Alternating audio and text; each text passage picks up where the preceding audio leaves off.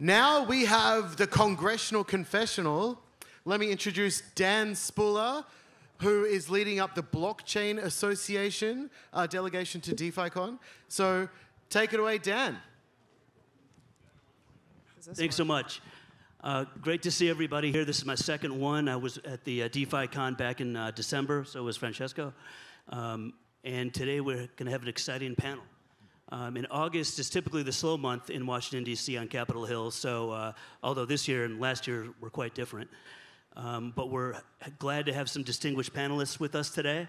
Uh, they took the Acela train up uh, just for this, and I think we're going to cover some interesting topics today. So before we get started, I just want to also just comment that um, there's been dozens of bills that have been introduced or proposed over the last uh, few years in the digital asset space. And uh, our panelists today actually have been intricately involved in a lot of those. So we're going to get down to uh, a discussion, and I'll let our panelists uh, introduce themselves and they're uh, the member they work for.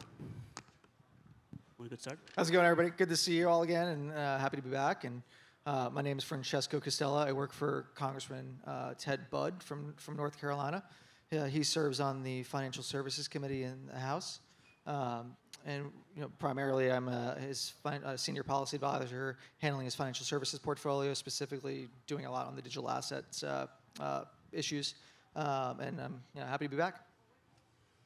Hey guys, my name is Sruthi. Uh, I work for Congressman Trey Hollingsworth, who also sits on the Financial Services Committee. Um, I handle his full financial services portfolio, um, which a good portion of that is his uh, digital assets work as well.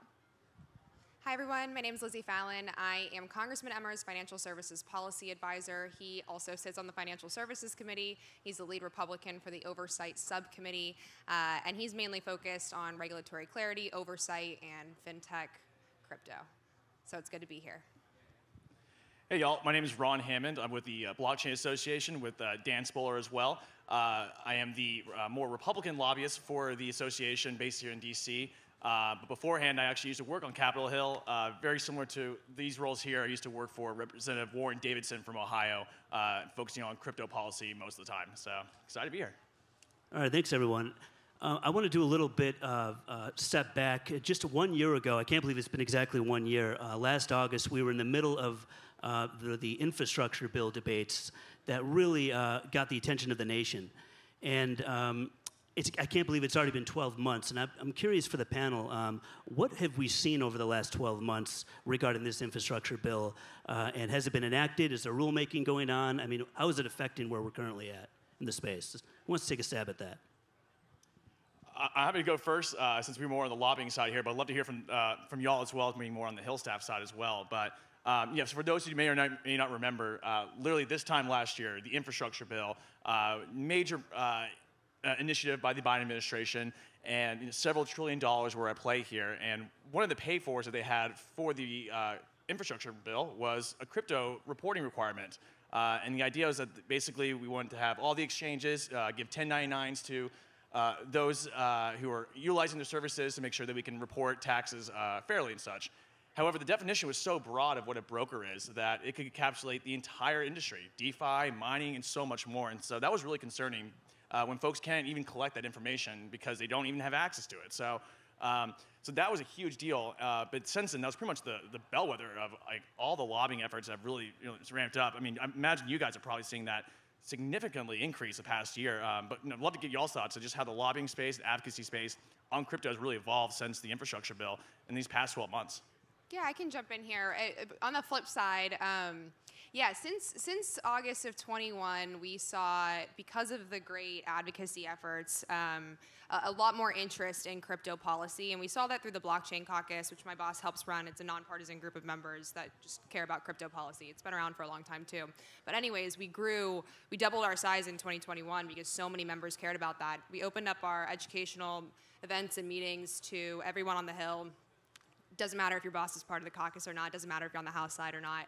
And we saw a ton of people from the Senate side listening in and just getting up to speed. So it was it was a really influential, kind of bittersweet moment because it sucked that that is now law, uh, but there's a lot more people and a lot more hands on uh, on deck trying to trying to fix it. So.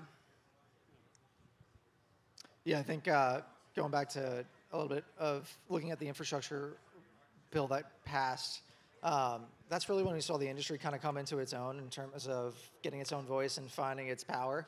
Um, I know many of us can probably attest to uh, the uh, the amount of uh, influxes of, of calls, messages, emails, etc. That, that we were getting on this issue, and uh, it's it's kind of funny um, to think that like, you had, in this large, massive infrastructure package, crypto became like the number one topic of discussion that no one thought of because of this one provision.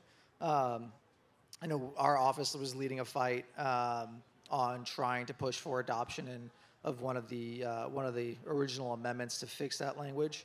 Uh, you know, unfortunately, it looks like it, you know that that kind of went to naught because of some unrelated issues that, that killed it. But I think all of us ended up joining a, uh, a McHenry bill that would uh, take that, that amendment that fixed the language, that tailored it, brought it back into uh, a, better scope, and uh, we, we you know, all co-sponsored that as well to try to get that adopted and, and fixed. Um, so it's still an issue going on because it got signed into law. So now it's trying to fix that that individual provision. Lizzy, a few seconds ago, you had mentioned the Congressional Blockchain Caucus, and um, I've been following that pretty closely over the years. Uh, it's grown considerably. Um, can you explain that a little bit more for the audience and what, what, what their mandate is, and, and is it bipartisan? Yeah, absolutely. It's um, it's pretty equal, Republicans, Democrat. It's uh, it was founded in 2014 by Jared Polis, a Democrat from Colorado, and Mick Mulvaney. And, uh, and, and since then, it's grown tremendously. My boss joined in 2015. He became a co-chair in, in I think, 2018. Um, and we've got about 40 members now who are committed to a common sense approach to a light touch, common sense approach to to um, crypto regulation. So it's been an educational vehicle up until I would say probably through August and, and, and today it's still an educational vehicle um, because that's the most important thing right now. But we're working to mobilize into more of a policy vehicle so we can get to a place where all the members are on board to push certain policy provisions or to block them, like the Portman Amendment and the infrastructure bill. So it's been a really great tool. It's, it's cool to see the interest and the engagement from the crypto community um, to utilize the caucus as a vehicle. Um, and I think it's really become a trusted institution in Congress for uh, uh, for perspectives on this, because the, the co-chairship and the leadership of the caucus spans the political spectrum. We have uh, we have leaders from the Progressive Caucus, from the Freedom Caucus, to moderates in between, like my boss and Darren Soto, uh, who all agree on an approach to legislating and regulating this space. And it's a really common sense, industry vetted, and supported approach um, and and so I, I feel like it's become a group that you know members who maybe are new to this can go and find one of those you know leaders of the caucus uh, for for a trusted perspective. Ron, do you uh, work with the Blockchain Caucus pretty closely uh, in your position at the BA? Um, I know you cover one side of the aisle, but um, how valuable is that as an entity to what you do? The blockchain caucus has been fantastic. Uh, so on Capitol Hill, it's a great way to educate a lot of staffers and members of Congress across the political spectrum uh, on all things crypto. Uh, you know, we actually had some DeFi presentations, Web3. Uh, you know, we were focusing on stablecoins a lot recently, so it's been really exciting just the range of gam- the gambit of issues in the crypto space and how much it's really evolved. And so, uh, and I think the most important thing with the blockchain caucus is just the, the grounded roots that this is a bipartisan issue. And that's something we want to make sure we keep having this uh, in this space that is a bipartisan issue. Uh, because the second that becomes you know, one party versus the other, we're subject to the political whims, and that's just no way to regulate industry. We want to make sure that we have both sides of the aisle uh, in, which we do. Uh, and if there's any you know, difference right now of opinion between members of Congress, it's mostly along the generational lines. You know, we're seeing a lot more of the younger folks uh, in Congress on both sides of the aisle, on all across the spectrum, really get involved in this issue. So uh, to see, you know, Lizzy Sruthi uh, and Francesco really lean this on the staff level for the caucus, but also for their individual bosses is really exciting. So, um, you know, we're expanding so much. I mean, Lizzy's mentioning the, the, the, growth has been incredible. So it's been hugely helpful for the education, and uh, looking forward to more coming up. Yeah, no, we may be getting some more members uh, possibly after the election this fall. So we'll see. We'll see how that plays out. Um, one of the issues that I mean, there's a lot of issues I certainly want to cover today, but this one particularly is relevant, I think, to the DeFi space, and that's stablecoins. Um, Sruthi, you've been very active in that from the Office of Hollingsworth. Um, it, there's been the Coins Act recently. There's been the Stablecoin Transparency Act uh, earlier this year. Uh, and everybody can weigh in on this, but I wanted to start with you just to see um, where are we at with stablecoin legislation uh, in the United States. Sure. Thanks for uh, that question. Um, So we have been working on a couple pieces of legislation because um, my boss was really focused uh, and kind of viewed the conversation around fiat currency-backed stablecoins is kind of how we have the term we've been using, and um, the reserves that um, back those coins in um, trying to uh, provide some regulatory clarity for um, to ensure that we there's transparency around what reserves are held and that we're holding high uh, quality reserves.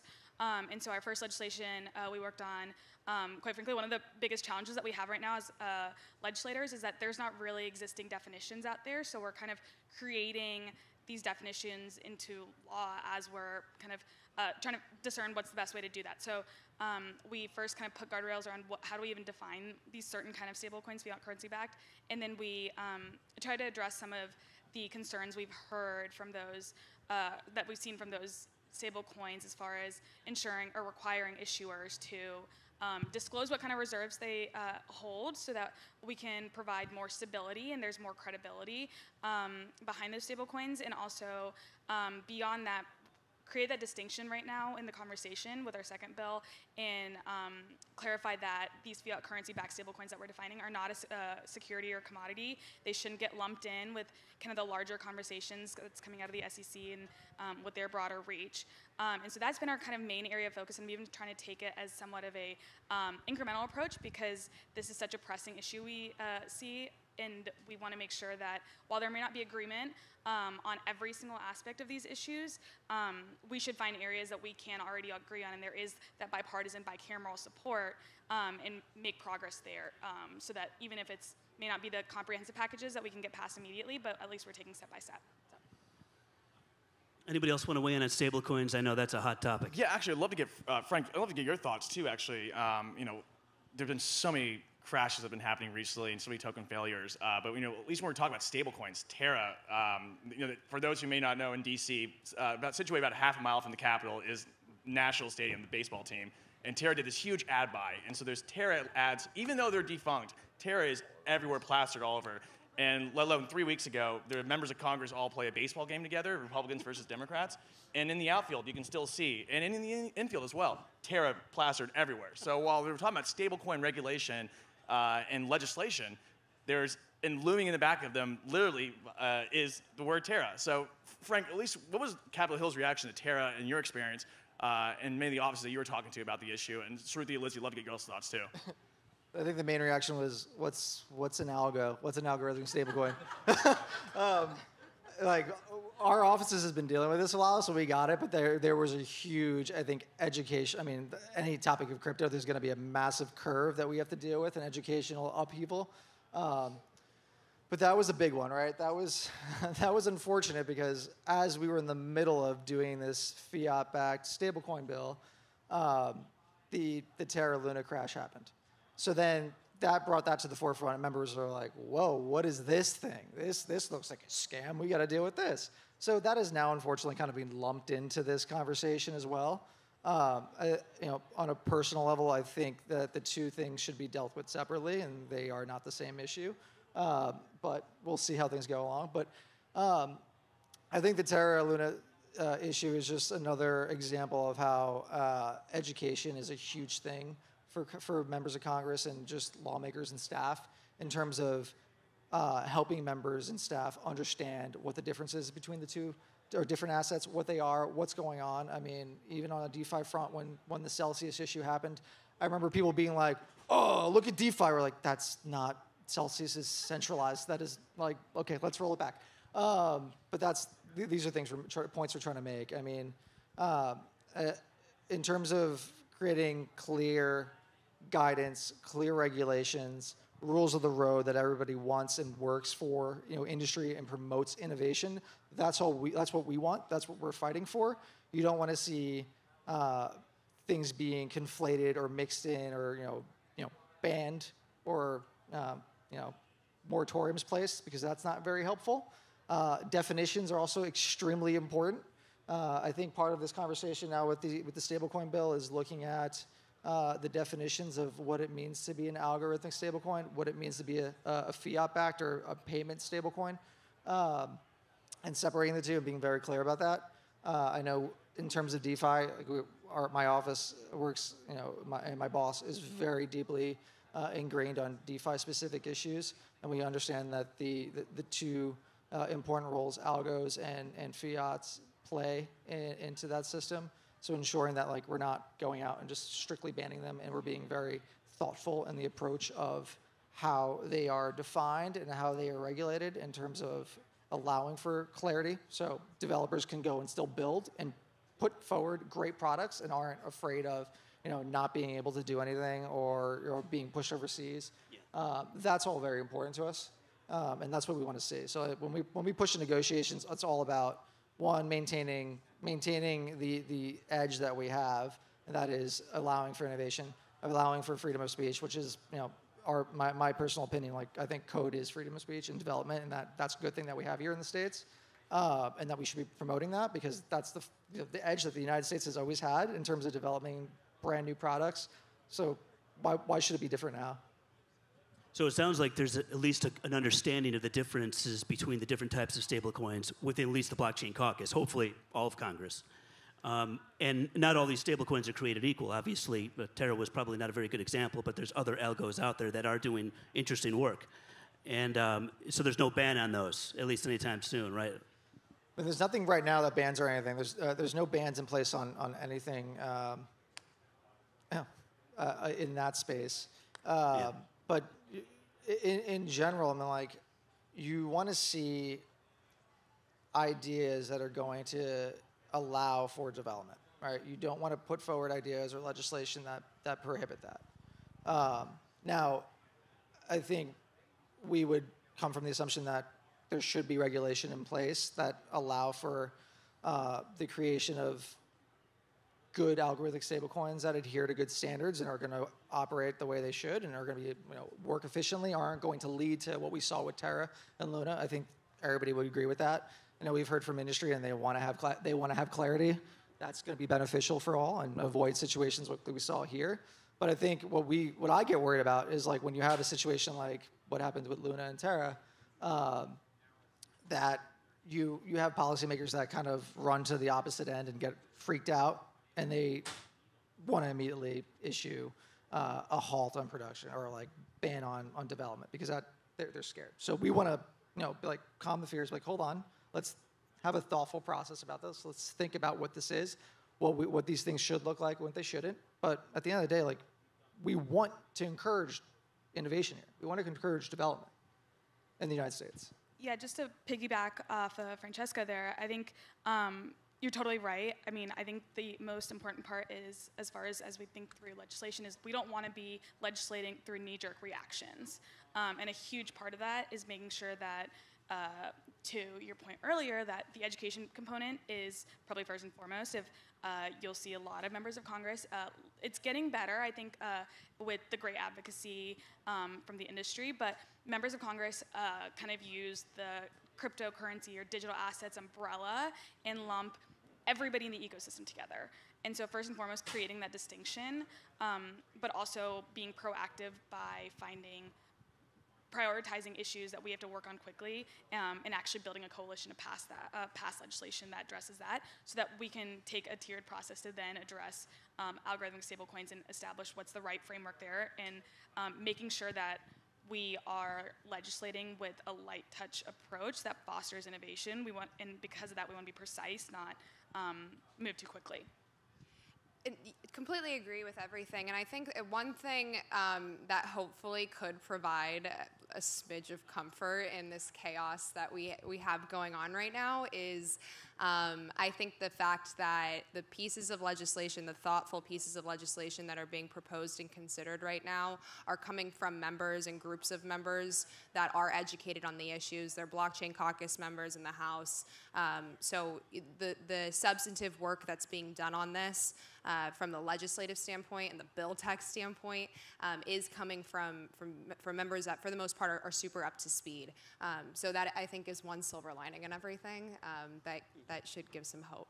And that, and that's just go to build on that. I mean, that goes to show the great work that the Blockchain Caucus is doing and groups like Blockchain Association are doing to educate members and keep them in touch because this development is happening. And it's happening in a bipartisan way, which is great, right? There's, there's buy in from everybody. Negotiations are very fluid and ongoing. That's something we want to see because at the end of the day, it's going to build a good product. So uh, there's great work going around all over the place, and we want to see that continue. Yeah, and cri- crypto is not partisan. Tech's not partisan. It's for everyone. So uh, the ethos of of the community is definitely um, being carried over into Congress at the at the legislative bill text level, and that makes me hopeful. You know, that brings me to my next question, actually. So, senior policy advisors and former policy advisors, um, you engage heavily with industry stakeholders. And how has that helped you uh, over the years in helping craft uh, favorable policies? I mean, does, when people come in and meet with you, does that help and is that effective? It's tremendously helpful, uh, especially for technology that's, uh, and for a community that's so new and technology that's so different. Like decentralized technology is just different from how you know members have lived most of their lives, staff have lived most of their lives.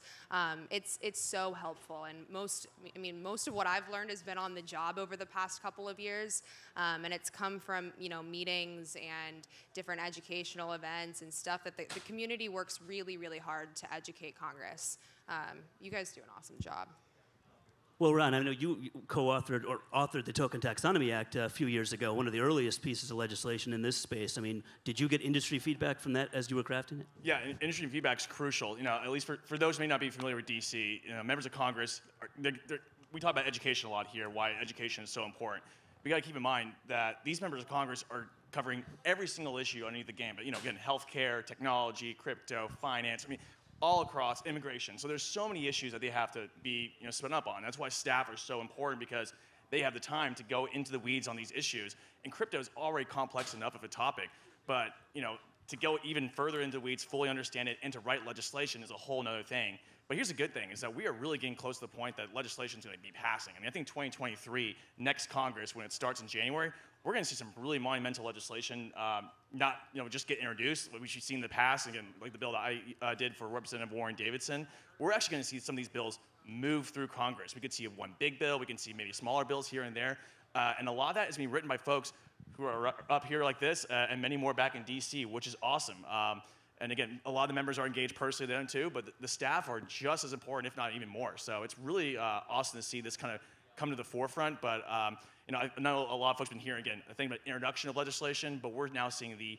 movement of legislation, um, and this is a really critical time. So it's really exciting. Uh, it's been a long time coming though. No, I think Ron's absolutely right. Uh, everything we've seen building up to this moment is finally, you know, paying off.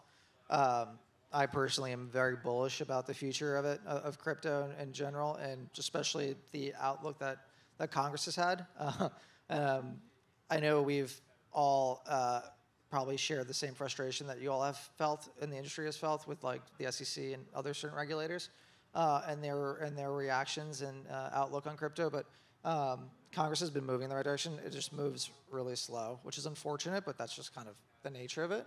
Uh, but I think Ron is spot on with you know we're probably we're, we're in a spot where we're going to start seeing actual legislation, good, very thoughtfully put together legislation that's going to benefit the industry in terms of the sense of giving them the clarity they need, start actually passing, uh, and setting down that foundation, that framework that we need. So I mean, going build one by one, uh, but we're we're on the cusp of that.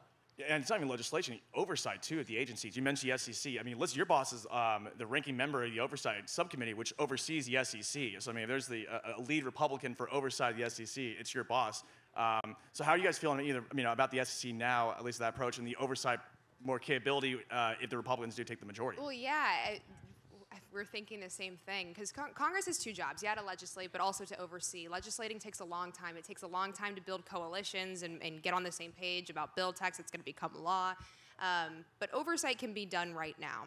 And it is being done right now. And what's cool is with crypto, it's being done in a bipartisan way, which is pretty unique. Um, but but yeah, I, I, just taking a step back and kind of looking at the facts, it's been hard for Congress to oversee the regulators right now uh, uh, because the Democrats have the majority. The regulators are Democrat nominated and confirmed. It just makes things a little trickier on their side. Um, I think when uh, if you see Republicans take the majority, you see a shift in leadership come ne- for next Congress. Uh, it- we're we're going to then have the capabilities and the tools to subpoena information from the regulators to hold them accountable for how they're overseeing and for how they're collecting information from the crypto community um, and, and, um, and, and, and keep things on track in that way. Now, what does that mean for Gary Gensler, though? I mean, does that mean there's going to be some accountability, perhaps more on the congressional side from oversight? It means there will be a lot now? more accountability on the congressional side. Yeah, it's a priority for the committee. Um, when Republicans take back the majority, digital assets are the first priority. Oversight is the second priority. Digital asset oversight is a huge priority. Um, so, so we'll be able to follow through on a lot of the seeds we've been planting this year, how they're collecting information from the crypto community, um, and, and, and a lot of other things that we hear from you guys. So, um, so you know, we appreciate you guys coming to us with this stuff and and always keeping things confidential. But uh, it is our responsibility to make sure that the rules of the road are being followed and, um, and that there's consistency with regulation so the community can innovate. And so we can protect consumers. you know, you know, there you go. So partisan politics. I mean, we don't want to get into that too much, but it is a fact, at least uh, when it comes to elected officials on Capitol Hill. Is there anywhere where both parties agree on something in this space? Because it seems to be that the the narrative around mining and the environmental side, it seems to be. Uh, you know, the progressive wing of the Democratic Party seems to be adamantly against it, and the Republican side seems to be embracing Bitcoin.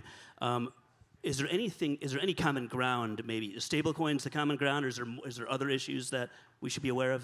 Yeah, I can I can jump in on that one. Um, I think stablecoins is exactly right. Um, we're seeing that um, as we're getting closer and closer on negotiations on the House side within the Financial Services Committee, but also beyond that, we um, have seen several pieces of legislation from the Senate as well that addresses stablecoins, but in several other uh, parts of the ecosystem. Um, but I would say stablecoins first and foremost, given that uh, the significant amount of progress that is being made um, is not something that you see common around the Hill um, on digital assets or even other issues, especially. Um, and so I think if we were to kind of list off uh, the most pressing needs that there is the most consensus on, um, stablecoins is definitely going to be at the top of that list, and I think we're going to see a lot more movement um, and potentially even bills signed into law uh, late this year, early next year. And honestly, I'd say that there's more in common and that there's more common ground than not. Yes, mining is difficult for the environmental concerns. Central bank digital currencies are another issue of contention. Um, but overall, I think um, you know people are really motivated by the idea of this transition from Web 2 to Web 3 and individuals having more ownership over what they contribute to the economy. I think generally, like the concepts and the direction we're moving in um, has buy-in from both sides, and and you know some of the issues are more on the fringes, important, but but you know generally um, there's a lot more consensus than you see and dif- legislation's hard to pass for reasons that like you guys touched on definitions just agreeing on in building coalitions and education um, but but i see it less on like just general big picture direction You mentioned uh, CBDCs. Um, I, I mean, I'm a little worried. I'm not convinced that they would serve any purpose that probably a current asset-backed stablecoin can't already do. Um, is that something we should be worried about? Is there any future of a digital dollar anytime soon? I hope not. Um, I hope not. But but I mean, look, that's what that's what the Fed's studying. That's what the MIT uh, Digital Currency Initiative that they're looking at retail-focused central bank digital currencies. So it's something that they're studying and exploring. The exec, the, Biden executive order on digital assets places the highest urgency on it.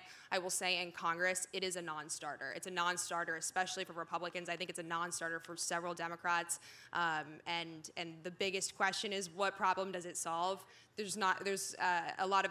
Uh, it's not very clear what, why why we're doing this. Um, and I know it would be a big issue for my boss if we uh, if we proceed with something like that. Uh, Some that's a- rebuts against it too. sh- uh, share the same opinion on that. I mean, uh, not many of us are very convinced on, on, on the, the use cases of, of CBDCs and what they solve. Right? Our personal opinion is that the private market is already, you know, solved this problem and has issued a, a consumer product with stablecoins that, that does everything a CBDC would do-. I mean, I always look at China and look at the digital yuan and like see the worst case pot- potential use case for something here. I mean, huge privacy concerns, huge financial freedom concerns. Um, it also like the government's not the greatest innovator, so why would we allow them to just like issue this? Um, there may be one merit for like interbank transfers and use cases, but from a consumer standpoint, I don't think it's necessary. And I think when you put it in the context of this is government controlled programmable money, uh, it, it really just kind of puts everything into perspective. Yeah, I'll, I'll pass. I'll just use cash. Before. I feel like uh, to uh, both Lizzie and Francesco's point, I mean, we hear, especially when the conversation first started uh, about CBDCs, that because China's doing it, we have to do it faster, better, harder, stronger. And that shouldn't be the approach we take, uh, in my boss's opinion, and um, because we, to Lizzy's point earlier, we it's not really clear what the benefits are here, but there are very clearly a lot of concerns and issues there that could um, arise from a CBDC, which it was also uh, very clearly evident in uh, the Fed's first paper that they put out and why they made it very clear that they don't have the authority to move forward on this on their own. Um, and we want to make sure that that, that continues. Earlier this year, the Biden administration released an executive order, and it was interesting because when that dropped, um, I, I, that week I probably got five different phone calls of friends of mine that are attorneys that have been watching the crypto space for years, but they said, I want in now because it provided a sense of legitimacy, at least from the highest level in the White House. But besides the beyond the, the, term executive order, what the heck is that? I mean, what, what is the point of it, and what is the action that's being taken to pursue this? Yeah, so for, the, uh, for those who may not remember, um, on March 9th of this year, the Biden administration issued an executive order to study crypto on a number of fronts, you know, mining, use cases, uh, you know, diversity and inclusion, and many other fronts. Um, so all these agencies, you know, would be Commerce, uh, Treasury, uh, what have you, are studying the benefits of crypto, the uh, concerns you may have, and they're going to be releasing reports um, for the next couple months uh, on, on, this topic. And so there might be some findings that we may agree with, maybe some things we don't agree with as an industry. But here's the, the, you know, the biggest takeaway is that the Biden administration is really mirroring what the Clinton administration did with the internet back in the 90s. The idea of saying, this is legitimate, this is staying here, even though we all know here on this panel here that the US government was going to try to ban crypto, uh, especially anytime after the year, what, 2018 probably um, you know, there's still a need for regulation. I mean, that's why uh, Congress is hugely important here. And so, uh, at least the Biden administration, what they can do is they can come up with rules or recommendations for Congress uh, or the regulators to move on.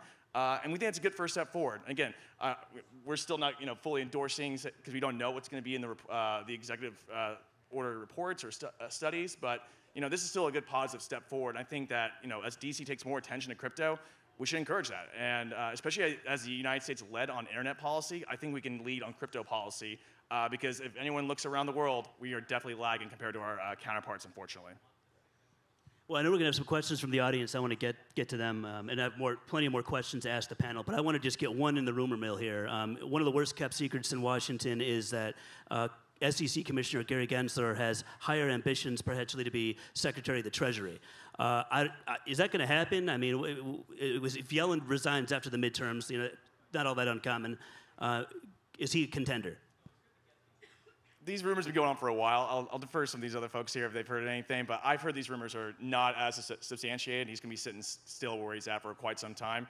Um, which is great because I would love to have Lizzy's boss uh, or Francesco's boss, and hopefully in the Senate, um, you know, grilling Gary Gensler down the road uh, in congressional hearings, uh, especially Lizzy's boss and Representative Emmer is very tough on uh, Chair Gensler. So, um, so even if you know if the Treasury rumors aren't true, I think it's still good that if he's still at the SEC, that we'll have good oversight from both sides of the aisle. Again, Lizzy uh, was highlighting that it's a bipartisan pushback against his approach to crypto. It's not just Republicans. Uh, do you want to talk about the, the blockchain eight letter you, you did to? Uh, uh, the SEC? Yeah.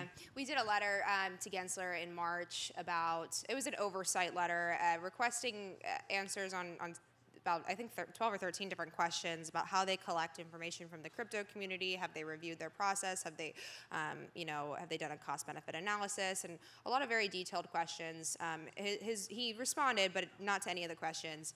Um, and and it was a, a, bipartisan group of members, four members from the Republican side, four from the Democrat side. Three of the Democrats were on Financial Services Committee, and I think it was quite effective for that reason. I want to highlight again, there were four Democrats who went against their own party to say, hey, look, we are concerned with the Democrat administration on the SEC about how they're approaching crypto. That's really rare. That's really rare for someone to attack their own party uh, in politics. There's, just, there's a lot of tribalism here of just saying, look, you know, we can't attack one of our own. So when folks, not just one member of Congress, but when four step out and say, we have concern with our own party and the direction they're taking. Um, that's very concerning. Again, one of the members of Congress on the Democrat side who uh, was on that letter was Richie Torres, who represents Brooklyn, right down over here. So it's really exciting to see uh, one of the most progressive members in uh, the U.S. House be very critical of this approach. Um, so it's really exciting to see uh, that, that bipartisan pushback. You get any questions from the audience? Yeah, one right over here.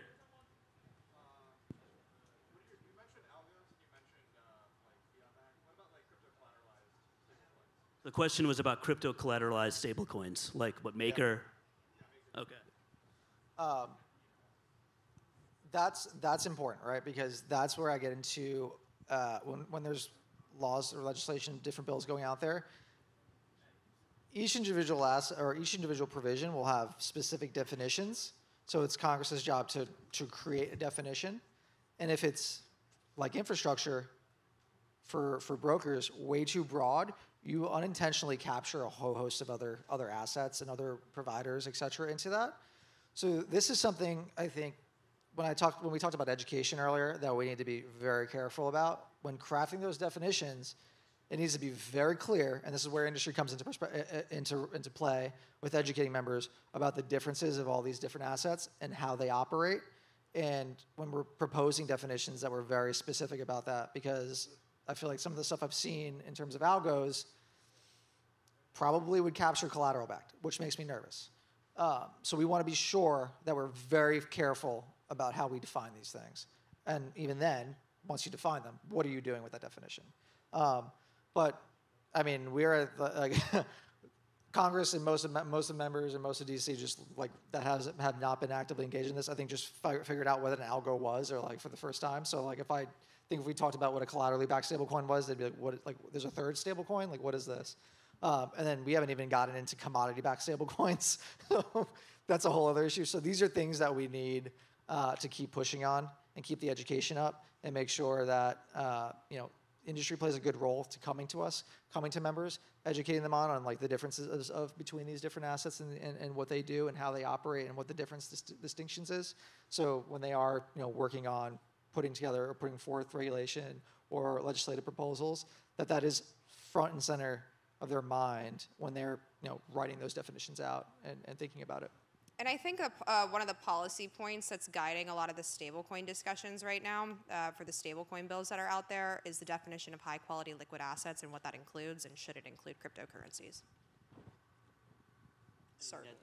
No, I think they both covered it well. I think uh, it's definitely on our radar, um, and it's something that we're going to have to work through in the process as we're uh, working through the actual uh, legislation and individual uh, provisions in the text. But it's something that we want to make very clear that there is distinction there um, and no unintended co- consequences on looping, uh, uh, dropping in other assets that aren't um, part of the broader definitions.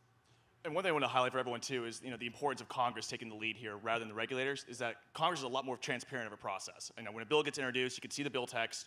Um, there, you know, there's ways to get to amend it. There are multiple votes, you know, within committee, within the House, Senate. So there's multiple ways to change legislation. And we might not, not get the end result we want, but it's a lot more transparent of a process rather than going through uh, a regulator who says like, this is what you know a stable coin is. You must follow these rules. Uh, you can submit comments, industry or other stakeholders, but we may or may not take it into consideration. So.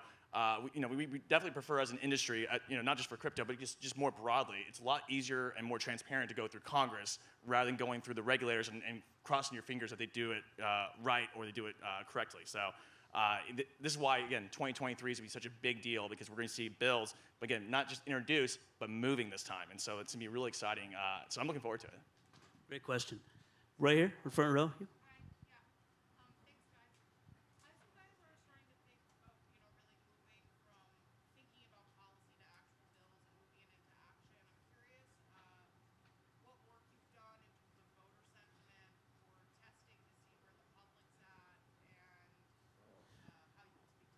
So the question was, um, have you gotten any stakeholder uh, engagement, polling, uh, any test, any? Is that kind of the question? Like, what what constituents are you uh, getting any updates or feedback from them as you craft this policy? I'm happy to jump in on that one. Um, yeah, so I think, um, speaking on behalf of my boss, that's one of the first questions he asks anytime we are drafting legislation, considering legislation, letters, things like that, is um, where is the industry on this? Where are individual members of uh, trade associations?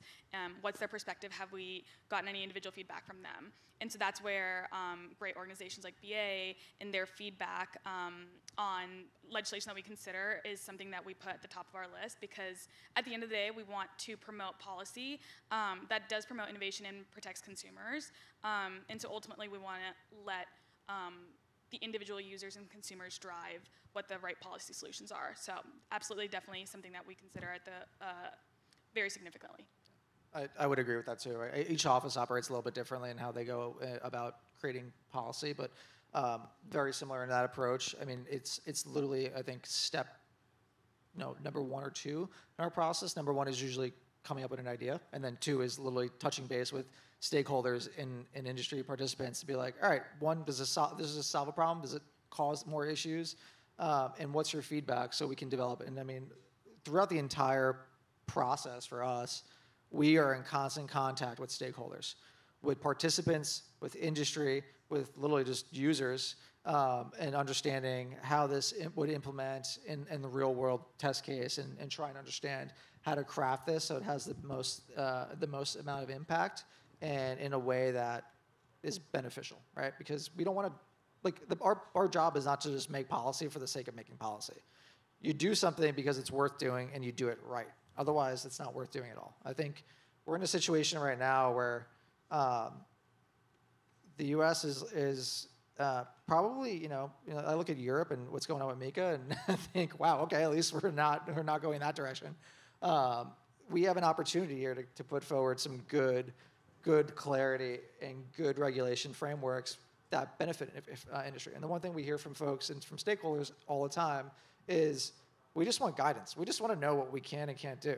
I just want to know and have something that says X, Y, Z, so I don't have to hope that what I'm doing here, like that, I'm going to get like a, an action letter from like Gensler or something. So that's that's what goes into our. Yeah, and I just add to that. I think the drive for like regulatory clarity, on in addition to every everything you guys mentioned, is um, is uh, is protecting uh, individual you know people who are using this stuff. Because every time that there's a shift in posture from one of the regulators, they come out, uh, you know, saying that X number of tokens are now a security. Like that screws over retail people. So. Um, so, so the, the drive for regulatory clarity, I think, comes from wanting to um, provide clear rules of the road so individual Americans can have confidence to engage um, with this technology. One last thing to, to build on, you mentioned you know voter base or you know and constituents and stuff that the members of Congress listen to. You know, at least on the campaign trail, it's election season. Members of Congress, for the most part, aren't going to go up to you know their local uh, community center and say you know crypto regulation is necessary. It's, it's not really a stump speech that gets really the voters excited. You know, they're talking about immigration, abortion, and a lot of more you know high level issues that are more pertinent on the social front. But I will also say that Twitter has been one of the most effective and sometimes ineffective tools uh, when it comes to policy. I mean, you, they- all are laughing because it's true. Because Twitter can be one of the best things to uh, get exposure to members of Congress or to legislation that's working on that, that a lot of these folks are, are spearheading on Capitol Hill. But at the same time, the vitriol that happens on Twitter for the most minor things can really get out of hand. And uh, and it depends on, on the member of Congress, but a lot of members of Congress read their own tw- Twitter uh, when they have some extra downtime. So uh, for those who are maybe are not as engaged or familiar with the industry, they're going to see a, a, there's a lot of uh, hate sometimes uh, on crypto Twitter, and that can be uh, detrimental. But you know, on the inverse side, it's been really positive to get a lot of good messages out there and to highlight a lot of the individual work that these guys are leading. So, uh, and it's been also a good way for the industry to stay connected in real time, which has been something that's really rare and unique in policy. Is just the, the real-time nature and the fast acting of uh, of crypto Twitter uh, and how it reacts to policy. So it's been really exciting to see. Uh, but I hope the it t- tampers down at least with the vitriol. You everybody up on here is on Twitter, so follow everybody up on stage today. Get some inside updates on a regular basis. And by the way, that's interesting, the point about constituents and just voters in general. I mean, it's just amazing to see how, uh, I guess, more mainstream the topic of crypto has happened over the last few years. You know, a few years ago, uh, th- these politicians, they probably wouldn't have touched the issue. Now it's more common than ever, and we need to elect more uh, pro candidates on that topic. Right here?